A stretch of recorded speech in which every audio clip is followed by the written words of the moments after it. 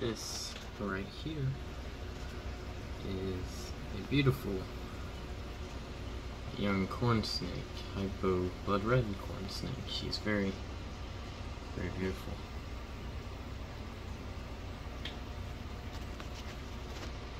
Very interactive, very smart.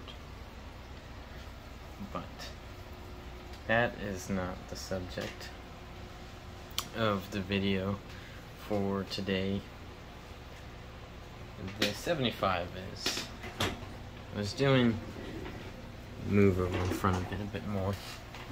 I was doing some, some thinking and just, uh, from what I observed over the last few months regarding this tank, um, or a few weeks regarding this tank and the last um, rescape, which is the current scape that it is now. What are some successes and failures, um, and what that means uh, in my eyes regarding regarding this tank. Um, plants and growth and plants dying and new plants and which plants are living, lighting, whole bundle of things, health of the fish, lots of things um, that, you know, just what makes this tank, uh, you know, what, what has made this tank succeed and what has been a failure in this tank. Um, mm, you might have noticed the background by now that has been added to this tank. It's just a very basic one, but I thought it might add some depth the tank. This this piece of wood right here looks real on the camera, but it's actually just the background. Um, added that to, as I said, kind of maybe add some depth to the tank, help the fish feel like they can fall back even further into something and help hide some of the stuff behind it. Not that it was really bothering me, but I got kind of bored at looking at the wall and didn't feel like the tank was very deep, and that is because of these Jurupari right here, always moving the substrate and keeping it from really stacking up high. Um, but it is a it is an it is a nice background that matches the the wood that we have here. Blends in very nicely on camera and in, and in person too, it, it does look good. But some successes, a lot of success. I would say overall, generally, I am pleased with this tank and it's always still evolving and um, I'm, I'm happy I get to maintain it. And this jungle val has grown in really nicely across across the back. I'd like it to be a bit denser, but given the Jurupari and the, wherever it is, the redhead Tapajos, um, it can't really be too much denser um, quickly. It, it, will take a long time for it to really get anywhere because they constantly are shifting around it, shifting the sand around it, shifting all the nutrients out and moving it, displacing it. So that is something to consider. Um, it's not going to get anywhere quick. Um, the Limnophila has uh, heterophylla, heterophylla, however you want to say it, has grown in beautifully. I have these trimmings here, these right here, there's some over there. This one is a trimming that has and then I cut off and then I threw it in there just let it flow and it's still growing very funny I think um, and then in the background let's see the Rotala is growing in nicely got several pieces of that in the background it's uh, the Rotala indica um, growing in right there as well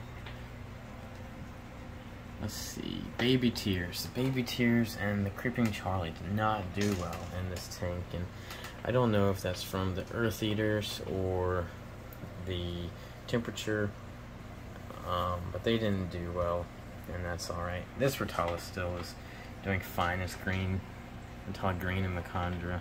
You can see the new growth out of each Macrandra right there, and of course the green is uh, very is easier to grow, so it's growing a lot quicker. But they uh, those the two plants, the creeping Charlie and the and the baby tears didn't didn't do as well as I wanted them to, um, which is okay. Um, there's actually a piece of the creeping Charlie right there filter intake, so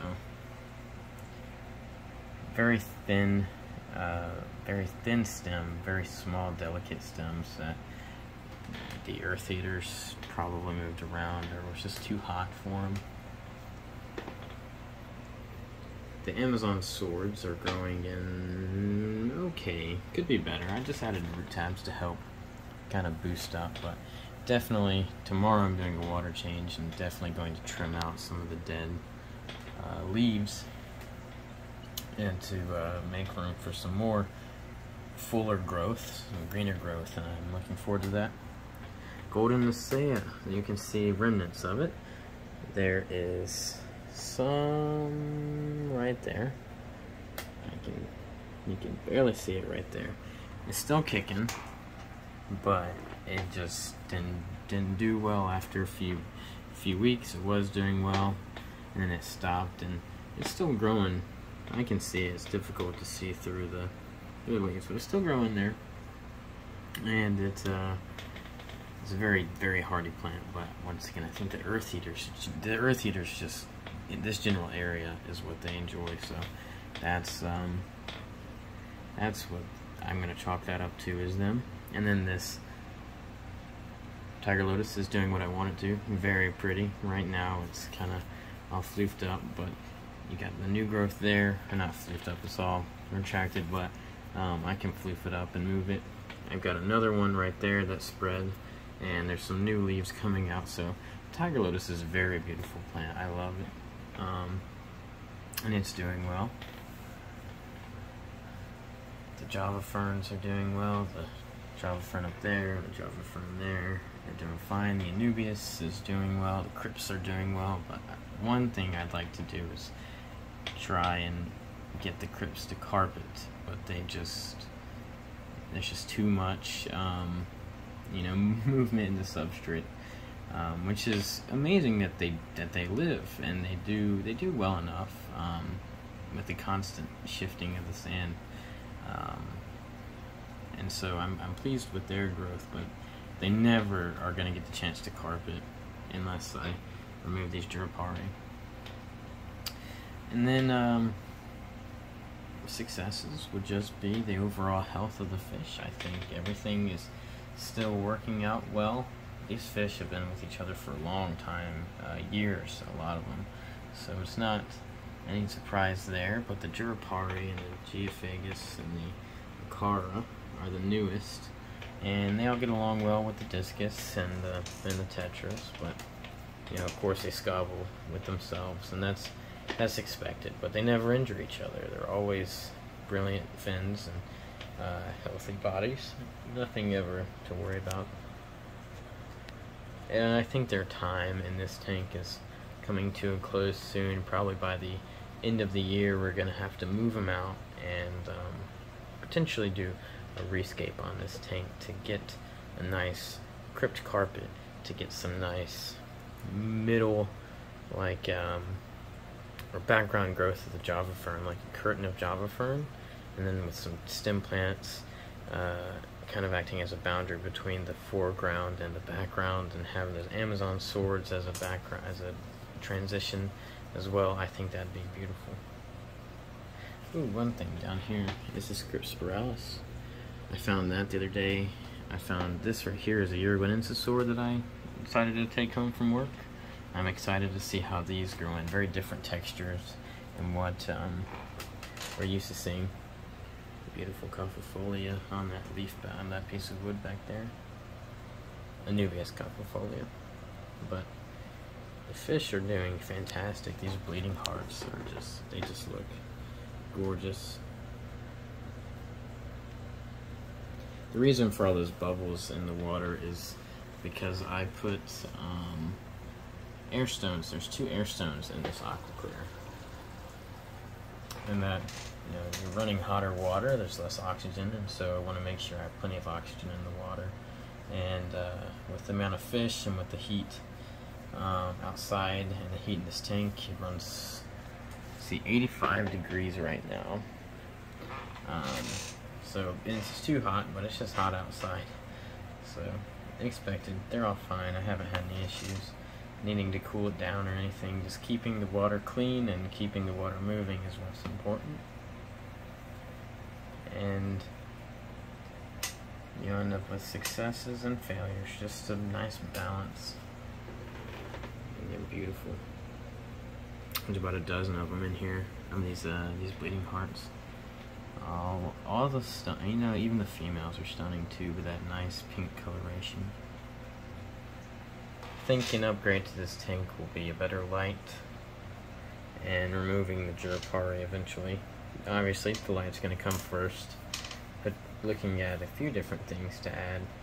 But this is not an aquascape, this is a fish tank first, planet tank second. I wouldn't consider an aquascape. Um, it is, it is, I think, nice, nice jungle style. Lots of things happening. They just ate discus and everyone did, but it's quite big.